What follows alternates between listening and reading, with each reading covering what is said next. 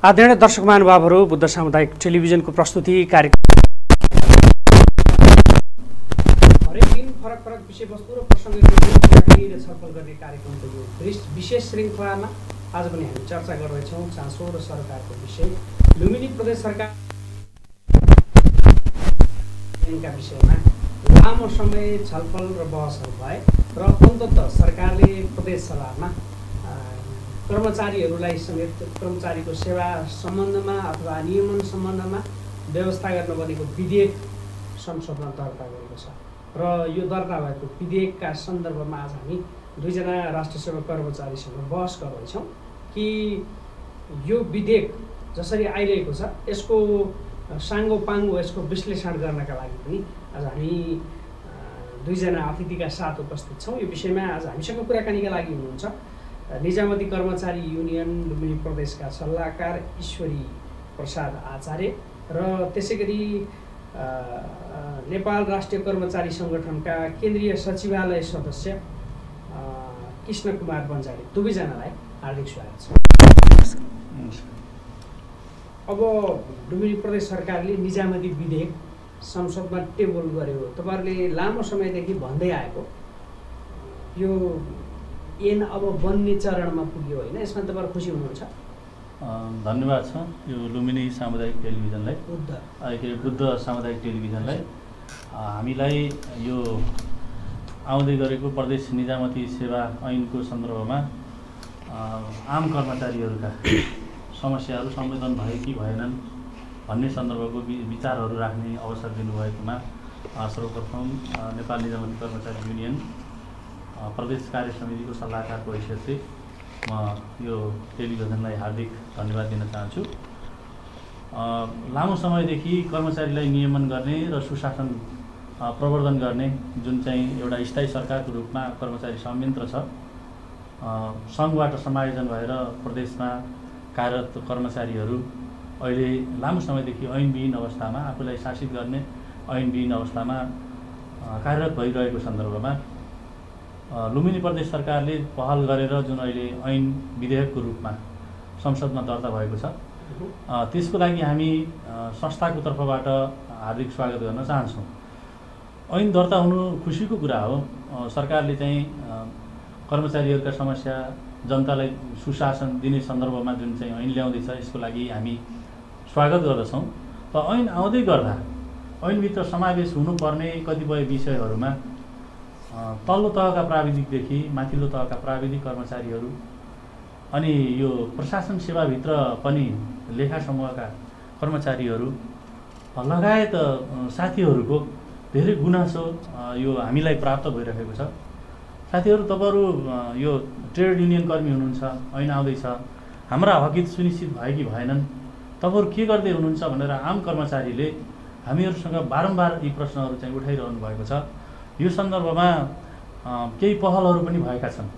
मुख्यमन्त्रीज्यूलाई भेटेर ऐनमा रहेका कमी कमजोरीहरूलाई सच्याएर अगाडि बढ्नको लागि हामीले ट्रेड युनियन कर्मीहरूको तर्फबाट हाम्रा प्रतिनिधि साथीहरूले दाममा काम गरिराख्नु भएको छ र सुझावहरू पनि दिने काम भइरहेको छ।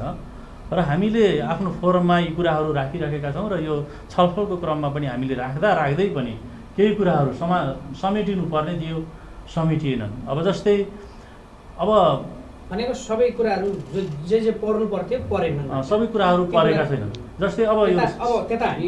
फेरि जाउँला विष्णु सर के हिजो तपाईँहरूले यो एनै ल्याइएन भनेर भन्नुभयो अहिले फेरि ल्याउँदाखेरि चाहिँ फेरि कर्मचारीबाटै असहयोग भयो भन्ने ढङ्गका गुनासा पनि फेरि आउन सक्छ नि सरकारतिरबाट अब यो जुन सरोकारवालासँग सल्लाह नगरिकन जुन ऐन हत्केलाले छेकेर चाहिँ ल्याउन लागि थियो। त्यो ऐन त्यो प्रति हाम्रो विमति हो। हामी समायोजन भएर आएको पाँच वर्ष पुग्न लागिसक्यो। हाम्रा कुनै पनि चाहिँ मानव वर्ग यस्तो वर्ग हो कि उसले वृद्धि विकास र त्यो गतिशील वर्ग पनि हो। प्राणी जाति गतिशील हुन्छ। त्यसमा पनि अझ मानव वर्ग त सचेत वर्ग हो। जसले यो पृथ्वीमा चाहिँ नि विभिन्न खालका चाहिँ नि आविष्कारदेखि लिएर आज यो टेक्नोलोजीसम्म ल्याउने वर्ग हो। त्यस कारण चाहिँ यो वर्गलाई चाहिँ जसरी त्यो खुम्चाउन खोजियो र सूचनाको हकबाट हाम्रो चाहिँ नि जुन सरकारको हाम्रो कानुन हामीले बुझ्न नपाउने र हामीले छलफल गर्न नपाउने जुन किसिमको चाहिँ तरिकाबाट ल्याइयो र चाहिँ हामी प्रदेशमा समायोजन भएर आएका कर्मचारीहरूलाई चाहिँ जुन माथि चाहिँ बाट आउने सङ्घबाट आउने कर्मचारीहरूले जुन हामीलाई एउटा चाहिँ नि रैतीको रूपमा अथवा चाहिँ नि उनीहरूले कजाउने उनी मालिक हामी चाहिँ नि उनीहरूको चाहिँ नि नोकरको जस्तो चाहिँ व्यवहार गरियो र चाहिँ प्रदेशका त्यो लेभलका जुन लेभलका चाहिँ कर्मचारीहरूले कानुनको ड्राफ्ट गर्नुभयो यो विधेयकको ड्राफ्ट गर्नुभयो त्यो लेभलका चाहिँ कर्मचारीहरू प्रदेशमा पनि थिए र सिनियर कर्मचारीहरू हुनुहुन्छ। उहाँहरूसँग र ट्रेड युनियन कर्मीहरूसँग चाहिँ सल्लाह नगरिकन यसलाई तयारी बिना चाहिँ नै ल्याउन लागि धेरै पटक छलफल भएको जानकारी सूचना हामीलाई प्राप्त छ। पनि बसेको सुझावहरू दिएको ती सुझावहरूलाई नोट गरेको र एक चरण पार गरेर मात्रै प्रदेशसभामा जाने प्रचलन छ सम्भवतः लुम्बिनी प्रदेशमा कानुन बन्दाखेरि। ती छलफलमा गएका तपाईँहरूका प्रतिनिधिहरूले राखेका सुझावहरू यो अहिलेको एकीकृत ड्राफ्टमा समावेश छन् कि छैन? एकीकृत ड्राफ्टमा चाहिँ नि समावेश छैन। यो समावेश नभएको कारणले अघि ईश्वरी सरले भनिसक्नुभयो अब यो चाहिँ नि प्रशासन हामी हिजो समायोजन भएर आउँदाखेरि पनि प्रशासन समूहका चाहिँ कर्मचारीहरू हाबी भए र उनीहरू चाहिँ जुनियर लास्ट ब्याजसम्मका मान्छेहरू पनि सङ्घमा समायोजन भए र चाहिँ शिक्षा स्वास्थ्य शिक्षा स्वास्थ्य लेखा के अरे इन्जिनियरिङ वन कृषि पशुका कर्मचारीहरू सिनियर मान्छेहरू पनि प्रदेशमा आउनु पऱ्यो अब त्यो चाहिँ नि नियति चाहिँ हामीले बेहोरेका छौँ र यो चाहिँ के हो भने कुनै पनि देशमा ब्युरोक्रेसीमा अथवा हरेक सेक्टरमा चाहिँ प्राविधिक जनशक्ति बिना देशको विकास हुँदैन। त्यस कारण चाहिँ के कर्मचारीभित्र प्रशासन समूहका मान्छेहरूले शासन गर्ने चाहिँ देखियो। कर्मचारी हो होइन। प्राविधिक प्राविधिक जस्तै एउटा इन्जिनियरले गर्ने काम जस्तै हाइवेको इन्जिनियरले इरिगेसनकोले अनि बिल्डिङकोले गर्ने काम चाहिँ प्रशासनको मान्छेले गर्न सक्दैन। तर त्यो इन्जिनियरले चाहिँ प्रशासनको काम गर्न सक्छ। त्यस कारण चाहिँ के हो भने त्यो विशेषज्ञ पद हो। त्यो विशेषज्ञता प्राप्त गरेको त्यो सेक्टर त्यसमा चाहिँ जान के अरे प्रशासनको मान्छेले त्यसको चाहिँ नि जिम्मेवारी वहन गर्न सक्दैन र प्रदेश सरकारको अहिले लुम्बिनी प्रदेश र हरेक प्रदेशहरूमा सातवटै प्रदेशमा अहिले प्राविधिक जनशक्तिको एकदम अभाव छ। र हाम्रै चाहिँ हामी अहिले खानेपानी कार्यालयमा चाहिँ नि डिभिजन कार्यालयमा चाहिँ नि जोगीकुटीमा कार्यरत छौँ। अब यो प्रदेशका नौवटा चाहिँ नि डिभिजनहरू छ। त्यो नौवटा डिभिजनमा नेतृत्व गर्ने उपसचिव लेभलको चाहिँ जबमा तिनजना मान्छेहरू छन् यो प्रदेशमा। अरू चाहिँ सबै नेतृत्वविहीन छ। त्यहाँ तपाईँको करारका कर्मचारीहरूले चाहिँ नि अनुभव चाहिँ कम भएका मान्छेहरूले चाहिँ चलाइरहेका छन्। खानेपानी जस्तो महत्त्वपूर्ण जस्तै पानी अरू चिजहरू त बरु तपाईँको भोलि पनि होला। खानेपानी त चाहिँ आजको आजै चाहिन्छ। होइन घन्टैमै चाहिन्छ। त्यस कारण चाहिँ त्यस्तो महत्त्वपूर्ण चाहिँ उसमा पनि त्यस्तो प्राविधिक सेक्टरमा पनि अब त्यो त्यो प्राविधिक जनशक्तिको पदपूर्ति भएको छैन र नेतृत्वविहीन भएको छ ईश्वरी सर अब तपाईँहरू त थाई सरकार नागरिकले तपाईँहरूलाई थाई सरकार बुझ्छन् थाई राज्य बुझ्छन् प्रशासन बुझ्छन् तपाईँहरू नै आफै फेरि अन्यायमा पर्न थालेको भनेर गुनासो गर्नुहुन्छ। यो सुहाउँछ अब यो जो अन्यायमा परेको छ नि जनतालाई दिने सेवामा पक्कै पनि चाहिँ त्यो उत्प्रेरित भएर सेवा दिनु र एउटा चाहिँ डोमिनेन्ट भयो फिलिङ भएर चाहिँ सेवा दिनुमा पक्कै पनि फरक हुन्छ होला। त्यो नीति निर्माण तहमा बसेको प्रशासकहरू भन्छु म विशेष गरी उहाँहरूले पनि बुझ्नुभएको छ होला। मैले सन्दर्भ जोड्दै थिएँ यो ऐनको सेवामा रहने तहहरूको सन्दर्भमा। हामीले यसभन्दा अगाडि गण के अरे यो चाहिँ लागु भएका गण्डकी प्रदेशको प्रदेश निजामती सेवा ऐन पनि हेऱ्यौँ। बागमती प्रदेशको प्रदेश निजामती सेवा पनि ऐन पनि हेऱ्यौँ। त्यहाँ एघारौँ तहको सचिव भनेर व्यवस्था गरेको छ। र प्रदेशको प्रदेशमा कार्यरत प्रदेश सेवामा कार्यरत कर्मचारी नै प्रदेशको सचिव हुने भन्ने व्यवस्था छ। र हाम्रो आउँदै गरेको चाहिँ जुन विधेयक छ कहीँ नभएको जात्रा हाँडी गाउँमा जस्तो यो प्रदेशमा बाह्रौँ तहको मात्रै सचिव हुने भनेर राखिएको छ। यसभित्र के चाहिँ अन्तर यो लुकेको छ। सङ्घले मात्रै त्यहाँ नेतृत्व गर्ने त्यो जसले चाहिँ ड्राफ्ट बनाउनु भयो त्यहाँनिर उहाँहरूको चाहिँ केही मनसाय लुकेको देखिन्छ। त्यो अवस्था छ। अनि दसौँ तहमा र नवौँ तहमा जुन चाहिँ प्राविधिक कर्मचारीहरू हुनुहुन्छ शिक्षा खानेपानी यो जनरल इन्जिनियरिङतर्फको अब उहाँहरूको तर्फबाट उहाँहरू अहिले चाहिँ यो ऐन लागू भएर बढुवा हुनुभयो भने पनि एघारौँ तहमा उहाँ जानुहुन्छ। बाह्रौँ तहको लागि अर्को पाँच वर्ष पुग्नु पर्छ। अनि पाँच वर्षपछि त उहाँहरूको चाहिँ रिटायरमेन्ट भइहाल्छ नि। पाँच वर्षभित्रै रिटायरमेन्टमा पुगिसकेका मान्छेहरू चाहिँ बढुवा हुने अवस्था अहिले देखिन्छ यो ऐन आउँदाखेरि भनेको अन्ततोगत्ता सङ्घकै कर्मचारी प्रदेशमा आएर पनि सचिव हुने तर फेरि उहाँहरूलाई माया हुँदै रहन्छ। कि यहाँ चाहिँ उहाँहरू चाहिँ राम्रो छ भनेर एक किसिमको प्रभावकारिता देखेर चाहिँ आउने। अठार भयो भने खुत्त सय जाने यहाँको रेस्पोन्सिबिलिटी प्रदेश सेवाको रेस्पोन्सिबिलिटी सङ्घको कर्मचारीले सधैँभरि बोक्न नपर्ने। एउटा मन्त्रालयबाट अर्को मन्त्रालय गइ भइहाल्यो। अनि प्रदेशमा आएपछि प्रदेशका कुरा राखे भइहाल्यो होइन? प्रदेशमा सजिलो परुन जाने काम गर्ने अठारो परेपछि त्यो मन्त्रालय छोडेर मन्त्रालय नै अठारो भएर कतिपय अवस्थामा अ, मन्त्रीज्यूहरूकै मुखबाट पनि यो प्रदेशको सचिव प्रदेशकै भए हामीलाई सजिलो हुन्थ्यो। एउटा कार्यक्रम सुरु गरे हुन्छ बिचमा फाट सरुवा भइदिनुहुन्छ। भने अब यो सम्भव छ त प्रदेशकै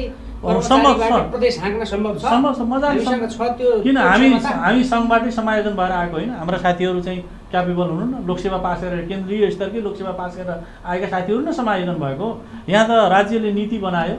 राज्यले बनाएको नीति नियम र सङ्घीयतालाई सफल बनाउनलाई प्रदेश रोजेर आएका साथीहरू हुन्। यहाँ कुनै दोस्रो दर्जाका कर्मचारीहरू प्रदेशमा समायोजन भएका होइनन्। त्यो कुरा सङ्घमा समायोजन भएका र सङ्घमा नेतृत्व गर्ने प्रशासकहरूले चाहिँ पनि बुझ्न जरुरी छ। अहिले पछिल्लो समयमा आएर बाह्रौँ तहको सचिव हुने भन्ने व्यवस्था राखियो।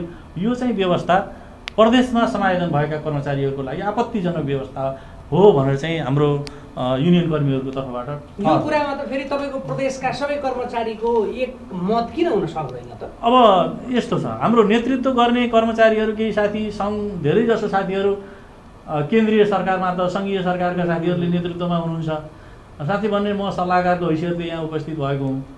अब एक्टिङ पोस्टमा चाहिँ छ। अब उहाँहरू चाहिँ आफ्नो जुन चाहिँ सङ्घको चाहिँ भन्ने एउटा चाहिँ आत्मीयताको कुरा हुन्छ नि प्रदेशसँग प्रदेशको कर्मचारीको जति आत्मीयता हुन्छ सङ्घको कर्मचारीको त यहाँ त कामकाजमा आउनु भएको उहाँहरू।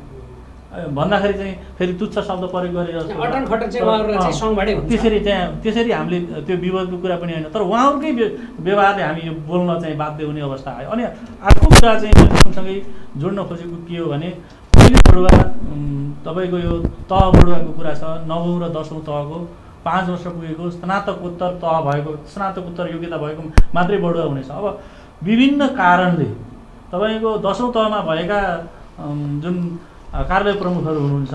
विभिन्न कारणले दुर्गममा भएर उहाँहरूले चाहिँ टेक्निकल विषयतर्फको योग्यताहरू हासिल गर्न नसकेको स्थिति पनि छ। त्यो हुँदाखेरि अब दसौँ तहमा भएको मान्छेको स्नातकोत्तर तह योग्यता छैन। नवौँ तहमा भएको समायोजन पछि पनि उहाँहरूको पाँच वर्ष पुगिसक्ने बेला भइसक्यो।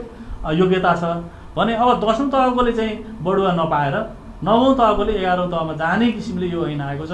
यसलाई चाहिँ सच्याउनु पर्ने आवश्यकता यहाँनिर रहेछ। र अब अर्को कुरा सँगसँगै मैले राख्न खोजेको के भने यो तल्लो तहका प्राविधिकहरू विशेष गरिकन खानेपानी अनि वन भेटनेरी कृषि यो क्षेत्रमा कार्यरत कर्मचारीहरूको सन्दर्भमा यो चाहिँ सम्बन्धित सेवा समूहको शैक्षिक योग्यता भन्ने यो चाहिँ योग्यताको तरबार झुडाइराखिएको छ। त्यसले गर्दाखेरि स्वास्थ्य सेवामा चौथो तहमा सेवा इन्ट्री गरेको मान्छे अ, फर्दार स्तरमा सेवा इन्ट्री गरेको मान्छे सातौँ तहमा पुगेर रिटायर हुने सुनिश्चितता छ।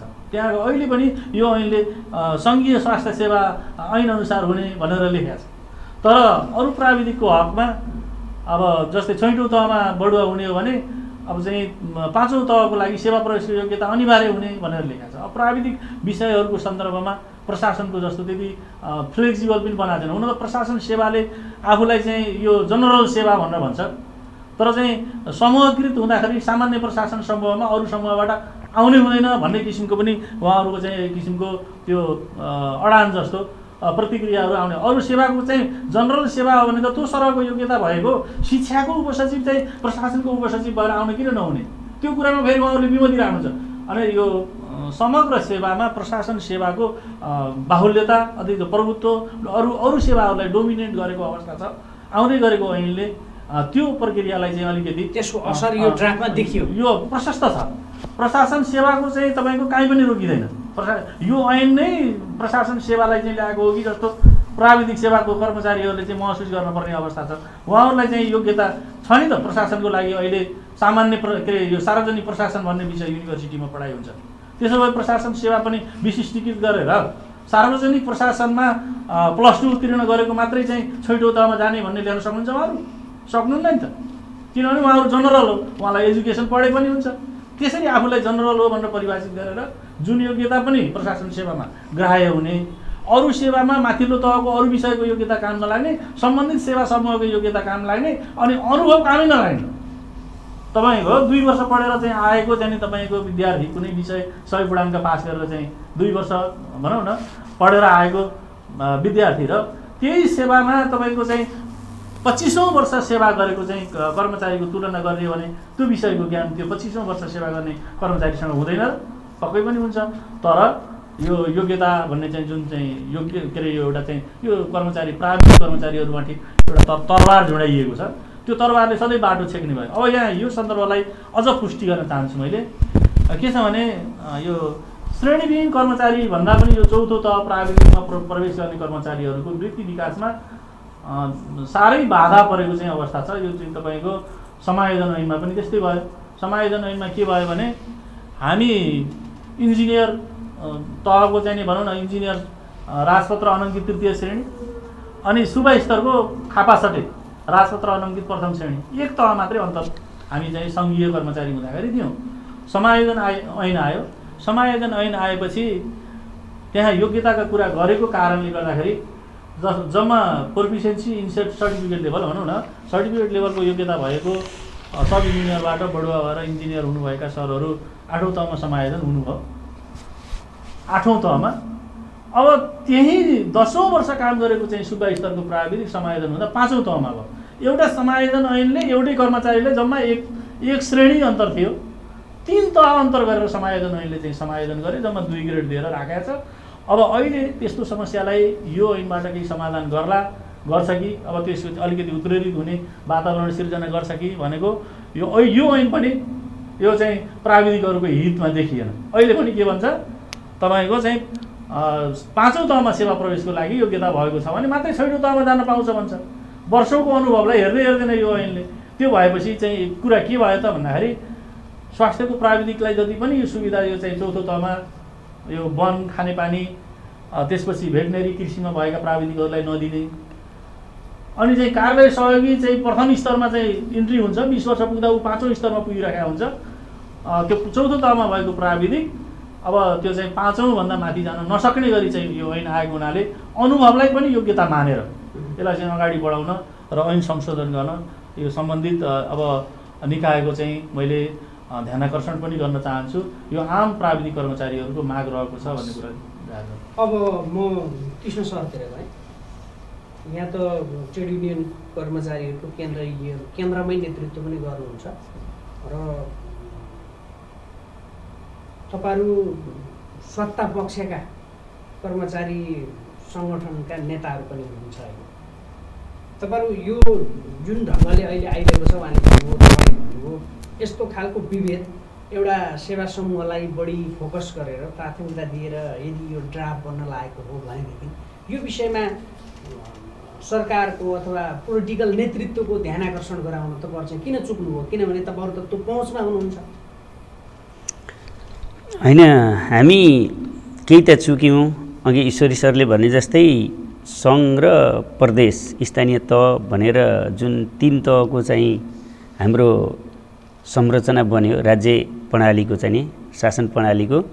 त्यसमा तल चाहिँ आएका कर्मचारीहरू र माथि आएका कर्मचारी बिचको चाहिँ नि हेर्ने दृष्टिकोण त्यसको तादम्यता चाहिँ नि मिलेन। अब र त्यसमा केही अन्तरहरू आए। हामी होइन रोजा होइन हो एकदम ठिक ठाउँमा आउनुभयो। हामी के हो भने यो शासन प्रणालीलाई सफल बनाउनका लागि यो संविधानलाई कार्यान्वयन गर्नका लागि हामी यो संविधान लामो समय सत्तरी वर्षको चाहिँ जुन राजनीतिक दलहरूले प्र्याक्टिस गरेर त्यो आन्दोलनलाई साकार तुल्याएको कारणले र हामीले जनताले सत्तरी वर्षको सङ्घर्षबाट चाहिँ जनताले लेखेको संविधान कार्यान्वयन गर्नका लागि चाहिँ हामी सङ्घ नरोजेर हामी सिनियर कर्मचारी हो हामी चाहिँ के अरे केन्द्रमा हामीले जहाँ रोज्यो त्यही चाहिँ पाउने चाहिँ कर्मचारी हामी यहाँ चाहिँ यो सङ्घीयता चाहिँ कार्यान्वयन गर्नका लागि चाहिँ प्रदेश रोजेर आयौँ होइन? हामी असल नियतका साथ आइयो। र यो अब चाहिँ लोकतन्त्र आयो नयाँ संविधान आयो जनताले लेखेको संविधान आयो समाजवाद उन्मुख चाहिँ संविधान आयो। त्यस कारण चाहिँ यो सबै हामी शोषित वर्गहरूको चाहिँ उत्थानका लागि चाहिँ यसले केही न केही आफ्ना एक्सनहरू ती मौलिक अधिकारहरू कार्यान्वयन गर्ने कुरामा चाहिँ अगाडि बढ्छ र त्यसका लागि हामी थाई सरकारका चाहिँ प्रतिनिधि हामी त्यो सेक्टरमा जानुपर्छ भनेर हामी तल आयौँ। र चाहिँ अब जुन माथि बस्ने मान्छेहरूले चाहिँ तल बस्ने मान्छेहरूको चाहिँ लागि चाहिँ सिरियस भएनन्। र अर्को कुरा के हो भने सङ्घीय निजामती सेवा ऐन प्रदेश र चाहिँ स्थानीय प्रदेश निजामती सेवा ऐनको चाहिँ मार्गदर्शक हुनेछ भन्ने ऐन नै मूल ऐन नै चाहिँ अहिलेसम्म आएन र त्यो चाहिँ राजनीतिक दलहरूको अहिलेका सत्तापक्ष र चाहिँ प्रतिपक्ष हिजोका अहिलेका प्रतिपक्ष त हिजो दुई तिहाईमा थिए होइन? त्यही दुई तिहाईको सरकारले हामीलाई अन्यायपूर्ण किसिमले चाहिँ समायोजनमा पनि अन्यायपूर्ण किसिमले चाहिँ पठाएको छ। दस वर्ष पुगेका चाहिँ नि एउटा तल्लो पदमा दस वर्ष पुगेको कर्मचारीलाई सातौँ तहमा चाहिँ पठाउने योग्यता पुगेकोलाई भनेर हामीले समायोजन रोज्यौँ तर चाहिँ हामीलाई छैटौँ तहमा चाहिँ समायोजन गरेर पठाइयो। त्यो अन्यायपूर्ण चाहिँ तरिकाले भयो। त्यो लालबाबु पण्डित र अहिलेको चाहिँ नि प्रमुख निर्वाचन आयुक्त। त्यतिखेर चाहिँ उहाँ चाहिँ सामान्य प्रशासन सचिव हुनुहुन्थ्यो। उहाँहरूले यो कर्मचारीप्रति गरेको अन्याय र समायोजन ऐन यस्तो चाहिँ हतारमा ल्याउनु भयो कि त्यो समायोजन ऐन? एकदम ठाडो एउटा कागज जस्तो बनाएर चाहिँ रात रातारातमा चाहिँ एउटा ड्राफ्ट गरेर पठाउनु भयो। र हामीले जुन हजुरले भने जस्तै हामी राजनीति नेतृत्वसँग पनि चाहिँ हामीले छलफल गरिरहेका छौँ। र विधायिकाले जहिले पनि चाहिँ विज्ञहरूको चाहिँ टिमबाट चाहिँ कानुन बनाउनुपर्छ। कानुनका मसौदाहरू बनाउँदा विधेयकका मसौदाहरू बनाउँदाखेरि अब संविधानका मसौदाहरू बनाउँदा त्यो विज्ञहरूको चाहिँ टिमबाट बनाउने हो। त्यो विधायिकाहरू सहितको टिममा र चाहिँ स्टेक होल्डरहरू जस्तै हामी कर्मचारीहरू भयौँ हामी जुन जो स्टेक होल्डरहरू छ तिनीहरूको छलफल सहयोग र चाहिँ उसकोबाट चाहिँ त्यो कानुन बनाउनु पर्थ्यो। तर जसले कानुनको कार्यान्वयन गर्ने त्यही मान्छे कानुन बनाउने भयो। यहाँ त उल्टो दिशातिर घुमेको छ। सचिवहरूले चाहिँ कानुन बनाउने होइन। सहसचिवहरूले कानुन बनाउने होइन। त्यो बनेको कानुन विधायिकाले बनाएको कानुनलाई कार्यान्वयन गर्ने हो। हामीले विधायिकाको चाहिँ कानुनलाई कार्यान्वयन गर्ने हामी कानुन बनाउने हामी कानुनवेत्ता भयौँ। हामी त्यो चाहिँ विशेषज्ञ भयौँ। होइन गर्नु भएको छैन। अस्ति मात्रै हामी चाहिँ यो अभियानमा गयौँ र मुख्यमन्त्रीज्यूसँग चाहिँ बस्यौँ र हामी मुख्यमन्त्रीज्यू यो प्रदेश भयो र यो सङ्घीयता भयो र तपाईँ मुख्यमन्त्री हुनुभएको छ। अनि चाहिँ त्यो त्यसैको चाहिँ नि त्यसका सहयोगी हामी। तपाईँलाई चाहिँ सफल बनाउने सहयोगीहरूको कानुन बनाउँदै हुनुहुन्छ। अनि चाहिँ हामीलाई चाहिँ छलफलमा राख्नु भएन। अनि सङ्घका मान्छेहरू जहाँ चाहिँ यो सरकारवालालाई नराखेर तपाईँले माथिबाट आएका चाहिँ पाहुनाहरूलाई चाहिँ राखेर हामीलाई चाहिँ परपर चाहिँ ढोकाभन्दा बाहिर राखेर बन्द कोठामा चाहिँ जुन बनाउनु भयो त्यसले चाहिँ तपाईँले तपाईँको चाहिँ कार्यकालमा चाहिँ सफलता पनि हुन्न र फेरि पछि आउने फर्दरलाई पनि धेरै चाहिँ समयसम्म चाहिँ यसले असर गर्छ। त्यस कारण चाहिँ यसलाई गम्भीर हुनपर्छ भने म गम्भीर छु तपाईँहरूको पक्षमा छु। तपाईँहरूले भन्नुहोस्। म के गर्नु पऱ्यो भनेर चाहिँ भन्नुभएको थियो र चाहिँ एउटा लेखा समूहको मात्र चाहिँ गर्ने भन्ने कुरा थियो। त्यस दिन त्यसपछि चाहिँ नि अब समग्र प्याकेजमा गर्नुपर्छ भन्ने खालको कुरा आयो र चाहिँ एउटा समितिहरू विषयगत समिति नबनेको कारणले विशेष समिति बनाउने कार्यव्यवस्थाबाट चाहिँ निर्णय गरेर कार्यव्यवस्था समितिको पनि त्यस दिन मिटिङ थियो र चाहिँ नि त्यसपछि ज्येष्ठ सदस्यको उसमा विशेष समिति बनाउने त्यसमा व्यापक छलफल गरेर चाहिँ नि यो कानुनलाई परिमार्जन गरेर चाहिँ नि पास गर्ने भन्ने खालको कुरा भएको थियो। त्यो संযোग हाम्रो अभियानले हो कि अब त्यो संযোग परेको? छवटै विषयगत समिति बनेछन्। अहिले अब विषयगत समितिमा चाहिँ उ गर्ने र त्यो छलफलका लागि भनेर संसद पनि अलिक पर चाहिँ नि चाहिँ राखिएको छ। तर के हो भनेर भनेदेखि हाम्रो जुन अहिले पनि ब्युरोक्रेसीमा सामन्तवादी सोच छ माथिकाले तलकालाई चाहिँ तपाईँको top to bottom. Bottom to top हुनुपर्ने हो अहिलेको चाहिँ सुशासनमा। तर चाहिँ नि कर्मचारी तन्त्र चाहिँ कस्तो छ भने नोकरसाही कर्मचारी तन्त्रमा टप टु बटम हुन्छ। सुशासनमा बटम टु टप हुन्छ। र त्यो चाहिँ तलसम्म आउँछ विषयवस्तु। र चाहिँ तपाईँको म म एउटा शाखाको प्रमुख छु भने मैले त्यो शाखाको निर्णय गर्ने अधिकार हुन्छ।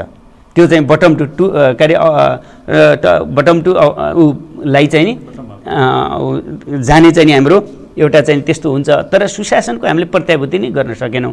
तर त्यही सुशासन पढेर आएका चाहिँ सहसचिवहरू सचिवहरू र चाहिँ अहिलेका अफिसरहरू उपसचिवहरूले त्यसको चाहिँ पढेर आउनुहुन्छ तर विचारहरूले उल्टो गर्नु हिजोको तपाईँको राजतन्त्र र चाहिँ नि राणा चाहिँ कालीन चाहिँ नि कर्मचारी प्रशासन छ। त्यसको उपज नै अहिले चाहिँ नि जुन चाहिँ सरकारवाला अब पेसागत मान्छेहरूको र ती चाहिँ नि जुन कर्मचारीहरूको हकित भन्दा पनि तिनीहरूलाई कसरी सधैँ दास बनाएर र आफ्नो अन्डरमा राखेर आफ्नो चाहिँ एउटा सधैँ हुकुमी शासन चल्ने खालको चाहिँ सोचका साथ यो कानुनलाई चाहिँ नि कानुन ल्याउनु पर्छ भन्ने मकसदले नै यो कानुन गिजलिएको नत्र पनि यसमा चाहिँ केही लुगाउनु पर्ने छैन। यो त खुल्ला साथ। तपाईँहरूको आउनुहोस्। के के गर्न पऱ्यो सेवा सुवा अघि भन्नुभयो उहाँले अनुभव नै योग्यता हो भन्ने कुराको अहिले पनि प्रशासकहरूको दिमागमा छैन। अनुभव त ठुलो योग्यता हो नि त। विदेशमा तपाईँको चाहिँ कि कि त ब्याच पर्स प्रमोसन हुनु पऱ्यो जस्तै म कति ब्याचको हो त?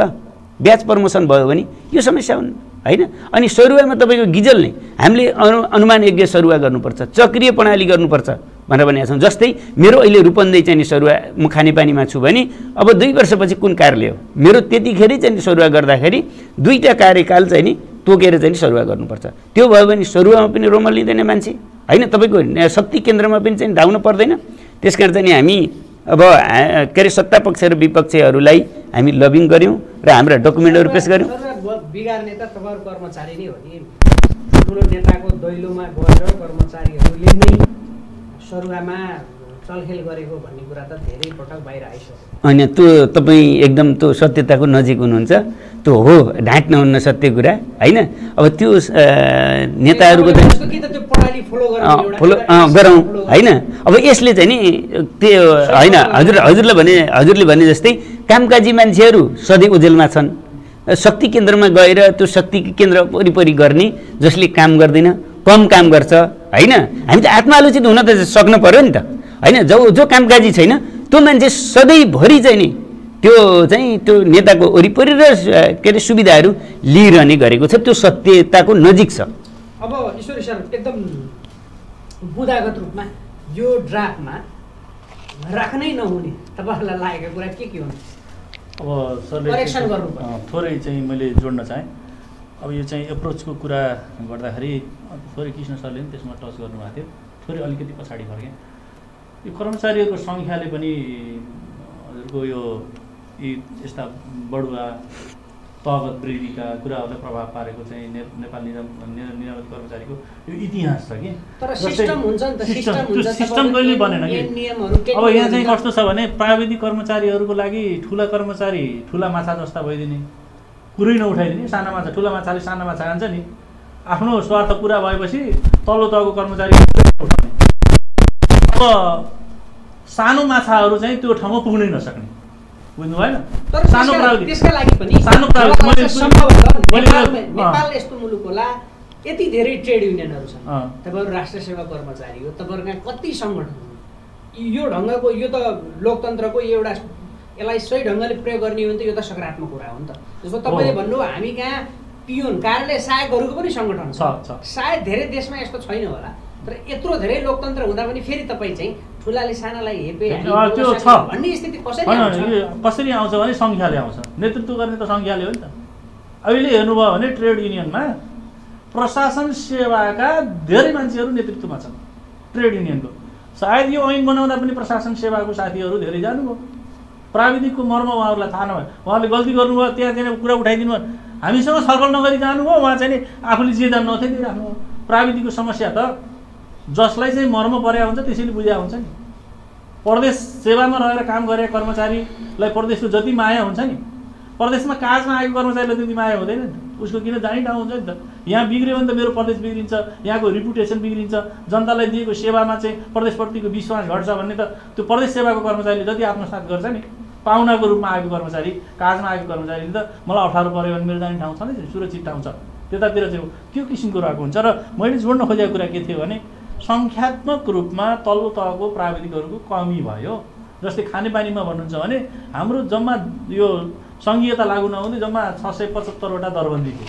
चार सय साठीजना त गाउँ गाउँपालिका पठाइदियो। खानेपानी विभागले त्यति बेला ठुलो अन्याय गरौँ हामी माथि विभागमा खापा सटे भन्ने पद थियो। त्यो पद एउटा पनि नराखिकन सबै समायोजनमा प्रदेश र स्थानीयमा राखेर अनि चाहिँ त्यो त्यो किन गरियो भन्दाखेरि माथिल्लो तहको चाहिँ इन्जिनियरहरूलाई चाहिँ सबैलाई सङ्घमा राख्नको लागि गरियो। त्यहाँ सङ्घमा अहिले पनि इन्जिनियरहरूको सङ्ख्या धेरै डीहरूको सङ्ख्या सङ्घमा अहिले पनि धेरै। यहाँ प्रदेशमा तपाईँको एघारवटा डिभिजनमा तिनवटा डी भएको अवस्था छ। समायोजनमै पनि त्रुटिपूर्ण तरिकाले समायोजन विभिन्न तहको कर्मचारीलाई समायोजन गर्नुपर्ने थियो नि त।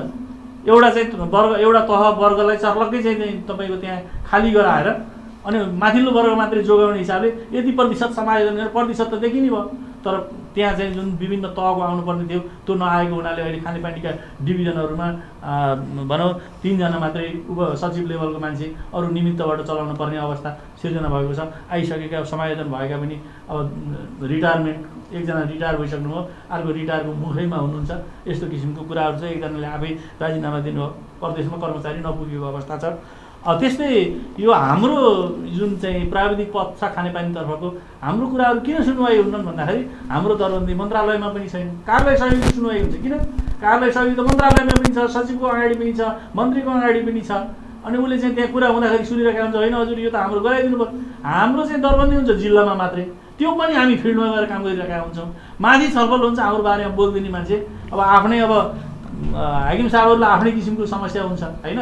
त्यो भएको कारणले गर्दाखेरि यो वर्गका प्राविधिकहरू तपाईँको यो चाहिँ लुम्बिनी प्रदेशभरि सबै जिल्लामा रहेका प्राविधिकहरू मर्कामा छन्। वनका त्यस्तै कुरा आइरहेको छ वनको साथीहरूको हिजो मात्रै एउटा चाहिँ स्टे अर्डर भएको छ।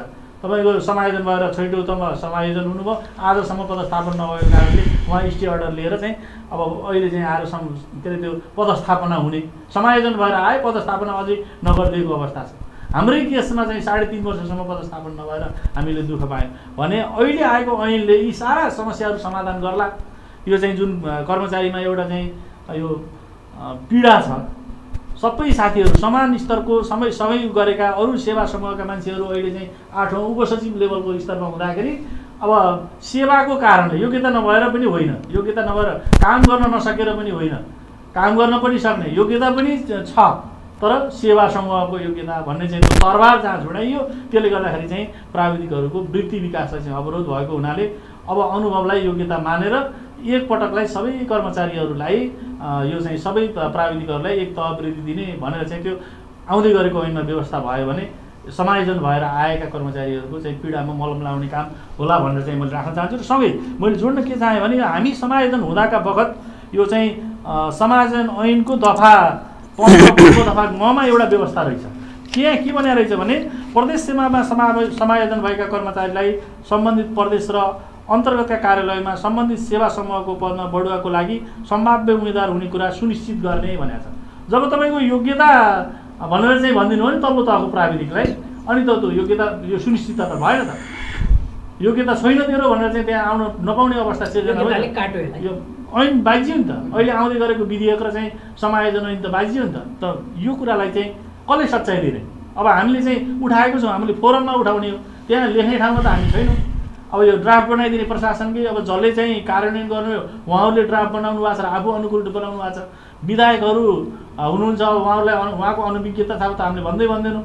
तर अब के छ भने भर्खर स्थापना भएको प्रदेशमा के गर्दै सिक्दै गर्ने क्रममा प्रशासकहरूले घुमाइदिइरहेको अवस्था छ र हाम्रो विधायकज्यूहरूले पनि यसलाई चाहिँ मनन गरेर यो टेलिभिजन मार्फत हाम्रा आवाजहरू चाहिँ उहाँहरूसँग पक्कै पनि पुग्छन्।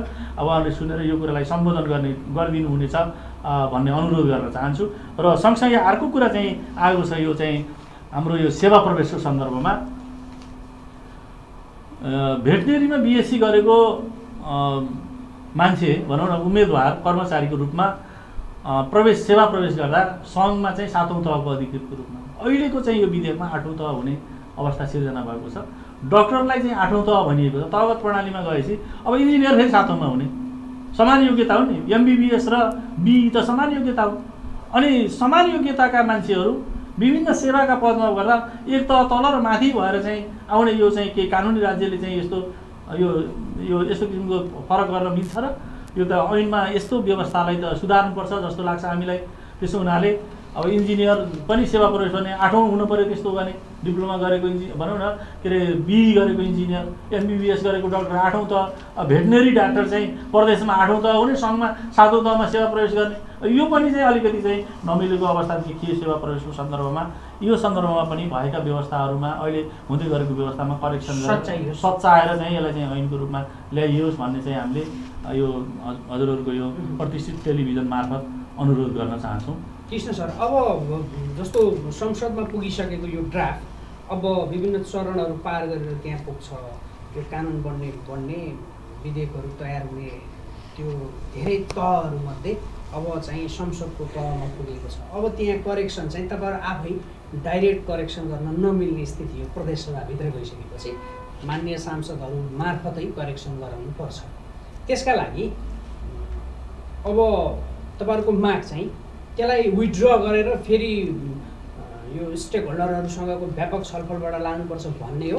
अथवा भित्रैबाट मान्यहरू मार्फत पनि त्यसलाई संशोधन हालेर करेक्सन गर्न सकिन्छ विषयगत समितिमा पठाएर संशोधन गर्न सकिन्छ भन्ने हो एउटा कुरा। अर्को कुरा चाहिँ केही नहुनुभन्दा यो कानुन आउनु त राम्रै होला। सकारात्मक पक्ष पनि होला। हामी कहाँ संविधान त तपाईँको परिवर्तनशील छ भने यो विधेयक चाहिँ फेरि परिवर्तन पनि त हुनसक्छ भन्ने ढङ्गले एङ्गलले सोचेर अगाडि बढ्न कतिको सकिन्छ? होइन एकदम सम्भावनाहरू त्यहाँ विकल्पसहितको सम्भावना हुन्छ। विकल्पविहीन नि केही चिज पनि हुँदैन। त्यस कारण चाहिँ विभिन्न हजुरले भने जस्तै विभिन्न विकल्पमा जान सकिन्छ। अहिले अब त्यो संसदको विषयगत समितिमा जुन गएको छ त्यो विषयगत समितिले स्टेक होल्डरहरूलाई बोलाएर व्यापक रूपमा सम्बोधन नभएका कुराहरूलाई समावेश गर्ने ग्यारेन्टीका साथ चाहिँ बढ्यो भने त्यसलाई विथड्र गर्न परेन। यदि चाहिँ त्यसलाई सम्भव भएन चाहिँ नि सकिँदैन भन्ने भयो भने त्यसलाई विथड्र गर्नुपर्छ र त्यसको विरुद्धमा चाहिँ हामीले अब प्रदेशभरि चाहिँ एउटा आन्दोलनका कार्यक्रमहरू घोषणा गर्नुपर्छ। र अब हजुरले जस्तै अब यसलाई जुन हामी अघि भन्नुभयो सरले हाम्रो एउटा माग के छ भने राजनीति अधिकारसहितको ट्रेड युनियन हुनुपर्छ। मैले किन हुनुपर्छ भने हामीले विदेशका प्र्याक्टिसहरू पनि हेर्नुपर्छ। अहिले हामी यो आइटीको जमानामा यो एक्काइसौँ शताब्दी आइटीको चाहिँ शताब्दी हो भनेर चाहिँ अब भइसकेको छ यो ग्लोबलाइजेसन ग्लोबल भिलेज होइन? अब भनेर चाहिँ भन्ने उसमा फ्रान्स चिन बेलायत भारतका चाहिँ कर्मचारी प्रशासनका राम्रा पक्षहरू चाहिँ नि हामीले यसमा समावेश गर्नुपर्छ। राम्रा हुबहु त हुँदैन। हामीले चाहिँ नि जुत्ता अनुसारको खुट्टा होइन कि खुट्टा अनुसारको जुत्ता बनाउने हो? होइन? तर चाहिँ के हो भनेर भनेदेखि ती प्र्याक्टिसहरू जस्तै चाइनामा पार्टीको सेक्रेटरी त्यहाँको चाहिँ नि कर्मचारीको सेक्रेटरी हुन्छ त्यो स्टेटको फ्रान्समा म बालवाला कर्मचारी हो म चाहिँ कुनै स्टेटमा अथवा चाहिँ कुनै उसमा चाहिँ विधायिकामा चाहिँ उठ्ने भएँ भने म त्यो उठ्ने बेलासम्म मेरो पद त्यो निलम्बन हुन्छ। होइन? म त्यो जितेँ भने म त्यो पदमा त्यो राजनीति पदमा गएर चाहिँ नि मैले काम गर्छु। तर म हारेँ भने चाहिँ नि म त्यही पदमा फर्किन्छु। त्यो अधिकारसहितको चाहिँ नि कर्मचारी प्रशासन हुनुपर्छ भन्ने छ। यहाँ राजनीति गर्ने भित्रभित्र। तर राजनीति गर्नुहुन्न भन्ने जुन चोरेको चिज तपाईँको लुकाएको चिज ढाँटेको चिजले चाहिँ झन् खराब गर्छ कि त्यसलाई ओपन हुनुपर्छ। राजनीति बिनाको कर्मचारी प्रशासन सोच्नु त्यो चाहिँ नि कुनै पनि अहिले हामी यहाँ आएका छौँ हामी राजनीति विचारसहित आएका छौँ। हाम्रो चाहिँ यो त हाम्रो चाहिँ ऐन आउनुपर्छ हाम्रो पेसागत रूपमा चाहिँ हाम्रो हकितका लागि आउनुपर्छ भन्ने कुरा पनि त राजनीति हो त। होइन? त्यस कारण चाहिँ नि के हो भने हरेक कुरा हामी चाहिँ खाने जागिर खाने सबै कुराहरू हाम्रा राजनीति हुन्। हाम्रा हरेक क्रियाकलापहरू राजनीति भन्ने कुरा बुझ्नु पऱ्यो। हो यही हामी के हो भने गर्ने गर्छौँ तर त्यो गर्नुहुन्न भन्छौँ। त्यहाँनिर हाम्रो समस्या हो।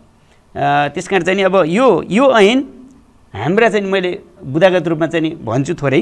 समायोजन दुई हजार पचहत्तरको दफा एघारको चाहिँ उपदफा तिन बमोजिम ऐनमा व्यवस्था हुनुपर्छ।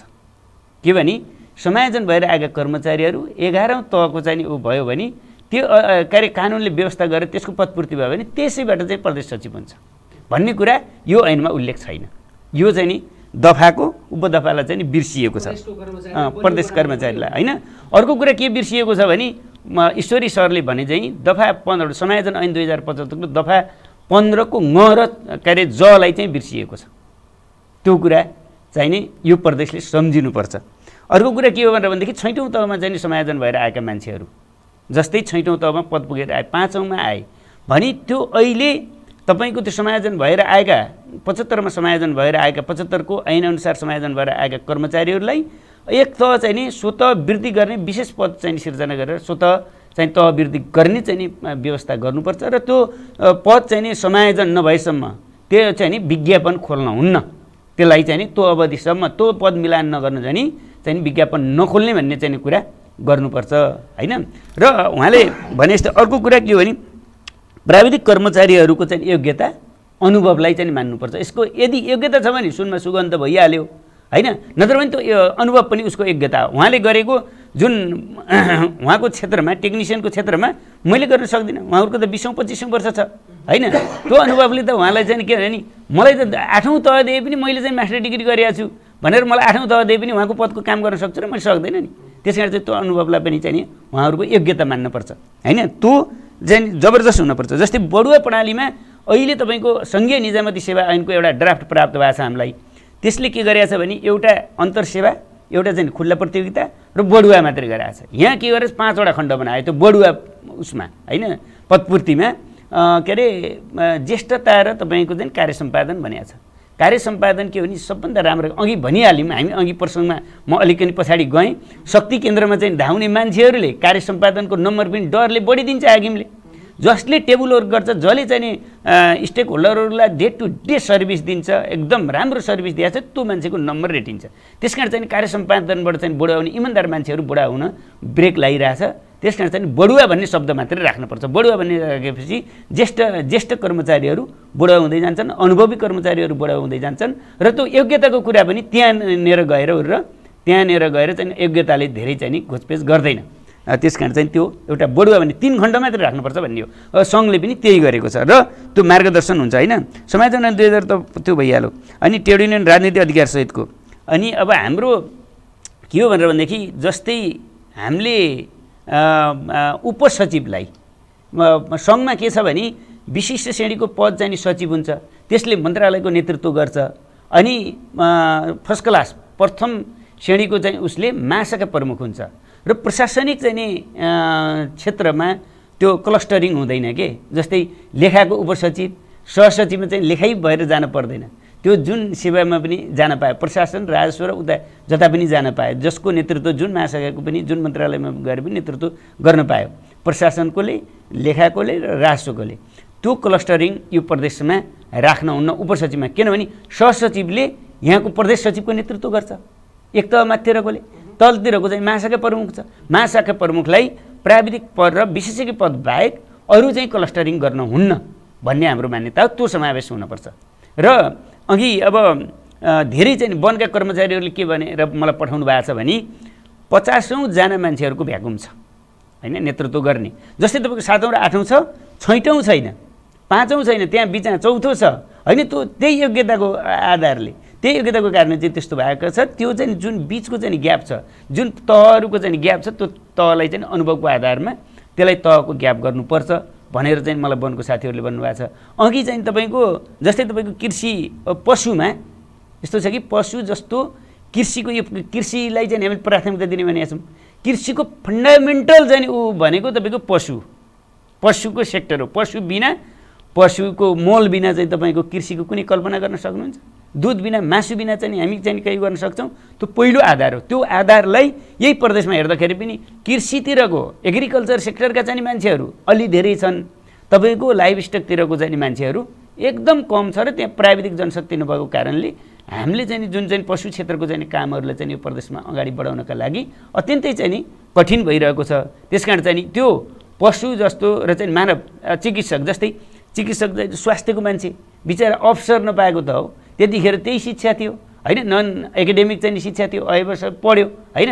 अब त्यही चाहिँ आधारमा अनि अयबले गर्ने काम त मैले गर्न सक्दिनँ। त्यसलाई उसलाई पनि अनुभवको आधारमा चाहिँ तपाईँको स्वास्थ्य सेवा ऐनमा चाहिँ जुन व्यवस्था छ पहिलो ऐनले गरेका व्यवस्थाहरूलाई पछिल्लो ऐनले काट्नुहुन्न भन्ने कानुनी मान्यता पनि छ। त्यस कारण चाहिँ स्वास्थ्य सेवा ऐनमा भएका व्यवस्थाहरू अरू प्राविधिक सेक्टरमा पनि चाहिँ गरियो भने यो कुरा अहिलेको समस्या र प्राविधिक जनशक्तिको अभाव जुन भ्याकुम छ त्यो भ्याकुम चाहिँ पुरा गर्न सकिन्छ बिस्तारै पुरा गर्दै जान सकिन्छ र त्यो खालको प्रदेश निजामती सेवा ऐन र अर्को कुरा मैले के जोड्न चाहन्छु भने जस्तै यहाँ यो प्रदेश लुम्बिनी प्रदेशमा छैटौँ त यो चाहिँ नि छैटौँ सातौँ र आठौँ को अधिकृतको चाहिँ नि पद चाहिँ समकक्षता हो भनेर समकक्षता निर्धारण गरेको अवस्थामा छैटौँ तबाट चाहिँ नि चाहिँ ऊ गर्नुपर्छ अधिकृतको चाहिँ नि विज्ञापन गर्नुपर्छ भन्ने हो। र यो चाहिँ नि सर्वोच्च अदालतमा यही विषयमा चाहिँ नि मुद्दा विचाराधीन छ। त्यस कारण चाहिँ यदि यो समायोजन भएर आएका कर्मचारीहरूलाई चाहिँ नि सही किसिमले चाहिँ समायोजन विशेष पद गरेर समायोजन गरिएन भने महान हानिको चाहिँ नि सम्म हामी त्यो मुद्दा चाहिँ नि फेरि हामी त्यो मुद्दा चाहिँ नि जगाउन चाहन्छौँ। र त्यसलाई चाहिँ हामी मानहानि विचाराधीन भएको उसमा अदालतमा विचाराधीन भएकोलाई त्यसलाई क्रस गरेर चाहिँ नि जुन मिचेर चाहिँ उपलब्ध चाहिँ उसमा लगियो भनेर हामी फेरि सर्वोच्च अदालत जानुपर्ने अवस्था हुनसक्छ। र अब अन्त चाहिँ कुनै पनि प्रदेशमा चाहिँ बाह्रौँ त छैन। यहाँ के छ भने माथिबाट आएर शासन गर्नेका लागि बाह्रौँ त भन्ने झुडाइएको छ। त्यस कारण चाहिँ अघि ईश्वर सरले भनिसक्नुभयो पाँच वर्ष तपाईँको अझै कुर्न पऱ्यो पाँच वर्षपछि त के हुन्छ के हुन्छ? यिनीहरूले जुन व्यवस्थालाई चाहिँ भद्रगोल गरिदिइसकेपछि त मान्छेलाई जनतालाई सर्भिस होल्डरहरूलाई कर्मचारीलाई इरिटेसन हुन्छ। इरिटेसन भएपछि के हुन्छ त? व्यवस्थाप्रति नै खलबल आउँछ व्यवस्था खलबल भएपछि के हुन्छ त? अनि अस्थिरता हुन्छ समाजमा होइन? त्यो खालको चाहिँ यिनीहरूको नियत छ। मकसद छ त्यो मकसदलाई चाहिँ चिर्नुपर्छ। र मैले अलि अलि ऊ भने कि यो कुरालाई चाहिँ के भने मैले समग्र चाहिँ एउटा राष्ट्र हित र प्रदेशको हितका लागि यो मैले कोही व्यक्तिलाई इङ्गित गरेर होइन। होइन? अब अलिअलि चर्को बोलै छ। र म फेरि यो नेपाल राष्ट्रिय कर्मचारी सङ्गठन होइन म नेपाल राष्ट्रिय कर्मचारी महासङ्घको केन्द्रीय सचिवालय सदस्य हो होइन? त्यहाँ हजुरले टिप्दाखेरि चाहिँ गर्नुभएको छ। र अब बुद्ध टेलिभिजनले जुन चाहिँ मैले अघि सुरुमा चाहिँ ऊ पनि गर्न पाइनँ मैले बुद्ध टेलिभिजन यो हाम्रो एकदम लोकप्रिय टेलिभिजनले हामीलाई चाहिँ हाम्रा कुराहरू र हाम्रो चाहिँ सरोकारको चाहिँ नि हाम्रा सेवा सुविधा र चाहिँ हाम्रो जीवनसँग जोडिएको हाम्रो पेसासँग जोडिएको जुन ऐन हो त्यो ऐन अहिले चाहिँ संसदमा टेबल भएको र छलफलको क्रममा रहेको बेलामा हाम्रा कुराहरू र हाम्रा चाहिँ विषयवस्तुहरू प्रस्तुत गर्न चाहिँ जुन उ गर्नुभयो त्यसप्रति चाहिँ हामी बुद्ध टेलिभिजनप्रति मेरो सङ्गठन र मेरो व्यक्तिगत तर्फबाट चाहिँ मैले हार्दिक धन्यवाद दिन पनि चाहन्छु र म एकदम आभारी पनि छु।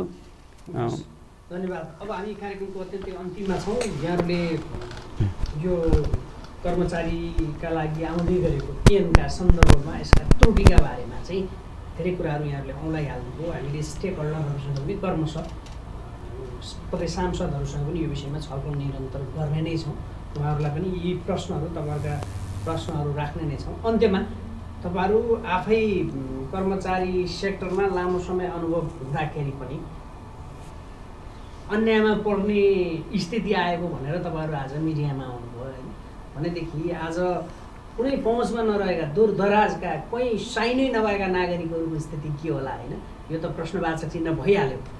र अन्त्यमा तपाईँहरूका यी मागहरूलाई चाहिँ तत्काल सम्बोधन गर्न चाहिँ कसले के के गरिदियो भनेदेखि सहज हुनसक्छ। अन्तिम एकै मिनटमा। धन्यवाद सर। यो महत्त्वपूर्ण टेलिभिजनमा ल्याएर हाम्रा विचार राख्ने अवसर दिनुभयो र नागरिकलाई सुशासन दिनको लागि पनि निजामती सेवा प्रदेश निजामती सेवा ऐन हो। यो ऐन राम्रो बन्यो भने कर्मचारीहरूले नागरिकलाई दिने सेवा अझ उत्कृष्ट हुन्छ किन उत्प्रेरित कर्मचारीले राम्रो सेवा दिन सक्ने कुरामा दुविधा हुँदैन।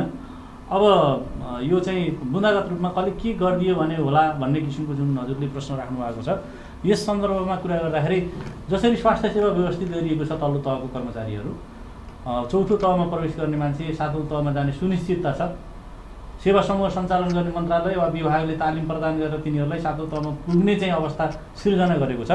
अन्य प्राविधिकको हकमा पनि त्यो व्यवस्था अनिवार्य लागू गरियोस्। त्यो चाहिँ पहिलो माग हो। त्यसको लागि अब यो विधेयकमा चाहिँ कुराहरू समावेश होस्। स्वास्थ्य सेवा सरह अन्य प्राविधिकहरू पनि चौथो तहमा प्रवेश गरेपछि सातौँ तहमा पुग्न सक्ने आधार सुनिश्चित हुने गरी ऐन आओस् यो चाहिँ कसले गर्नुपर्ने? अब विधायकले गर्नुपर्ने प्रशासकहरूले चाहिँ जुन ड्राफ्ट गर्नुभएको छ उहाँहरूले गर्नुपर्ने त्यो कुरा रह्यो र अनि सरले अघि एउटा कुरा जोड्नु भएको थियो। कि यो ऐन यतिकै आउँदा कसो होला? अथवा तपाईँहरूको यता एउटा एक चरणमा आयो भने अर्को चरणमा सुधार संशोधन गरेर सुधार्न सकिन्छ भन्ने हो। अब यो गल्ती देख्दा देख्दै त नगरौँ न त। गल्ती त देखिसक्यो नि। देखेका कुरा सच्चाएर लिएर आउँ। ऐन राम्रो छ। अरू कुरा त राम्रो छ। त्रुटि भएका कुरालाई सच्याउँ भने अब हामीले होइन? त्रुटि जहाँ जहाँ जहाँ कमजोरी देखियो त्यसलाई सच्याएर मात्रै ऐन जारी गरौँ र चाहिँ यो आम कर्मचारीहरूको हितमा होस्। सबै कर्मचारीहरू उत्प्रेरित भएर प्रदेश को चाहिँ नीति कार्यक्रम चाहिँ जनता समक्ष पुर्याउँदा जनताले साँच्चै सरकार छ भन्ने अनुभूति दिने सुशासनको कुरा छ।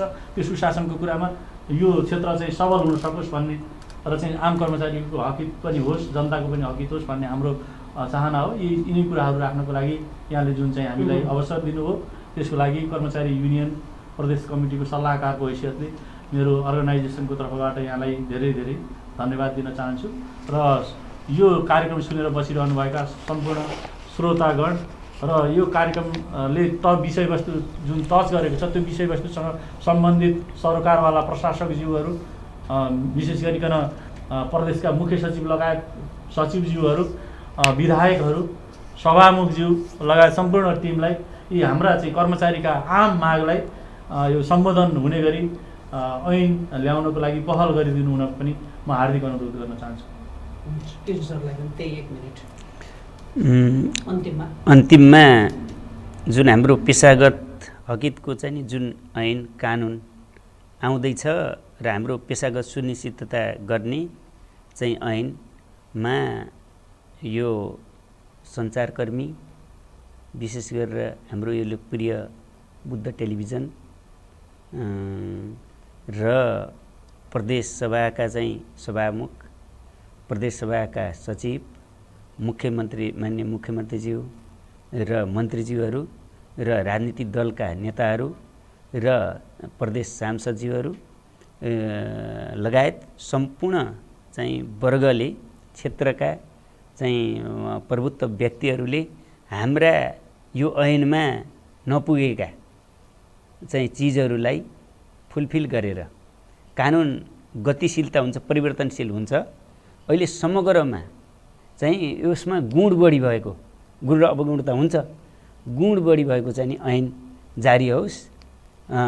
यही शुभेच्छाका साथ यो हाम्रो टेलिभिजनले बुद्ध टेलिभिजनले र विशेष गरेर हाम्रो खड्का सरले हामीलाई चाहिँ हाम्रा विचारहरू र हाम्रा पेसागत हकितका कुराहरू र चाहिँ हामीले जुन सेवा समूह सञ्चालन हुने यो प्रदेश अन्तर्गत सेवा सञ्चालन हुने कुरामा भएका समस्याहरू र साथीहरूका वृद्धि विकासमा का लागि चाहिँ नि रोकिएका भएका अवरोधहरू र चाहिँ त्यसका अवरोध खुटा खुलाउने उपायहरू सहित चाहिँ नि हामीलाई बोल्ने चाहिँ जुन मौका र हाम्रा कुरा राख्ने मौका दिनुभयो त्यसमा म नेपाल राष्ट्रिय कर्मचारी महासङ्घ केन्द्रीय समितिको तर्फबाट र मेरो व्यक्तिगत तर्फबाट चाहिँ म यो बुद्ध टेलिभिजन र यहाँ हाम्रो खड्का सरलाई हार्दिक धन्यवाद। ज्ञापन गर्न चाहन्छु। यहाँहरू दुवैजनालाई धेरै धेरै धन्यवाद। व्यस्त समयको बावजुद यो संवादका लागि हामीसँग आइदिनु भयो। नेपाल राष्ट्रिय कर्मचारी महासङ्घको केन्द्रीय सचिवालय सदस्य कृष्ण कुमार पन्जाडे। त्यसै गरी निजामती कर्मचारी युनियन लुम्बिनी प्रदेशका सल्लाहकार ईश्वरी प्रसाद आचार्य। दुवैजनालाई धेरै धेरै धन्यवाद दिँदै आजको कार्यक्रमको निर्धारित समय सकिसकेको छ। फेरि अर्को बसाइमा यस्तै नयाँ विषयवस्तु र प्रसङ्गसहित उपस्थित हुनेछौँ। तबसम्मका लागि हाम्रो सम्पूर्ण युनिटलाई आज्ञा दिनुहोस्। नमस्ते।